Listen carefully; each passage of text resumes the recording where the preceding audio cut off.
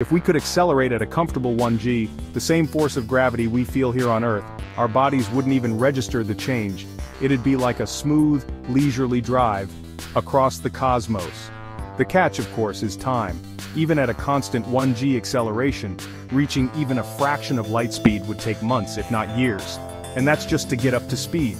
Not exactly practical for interstellar vacations, right? Now if we're talking about overcoming impossible odds, we have to turn to science fiction for a little inspiration.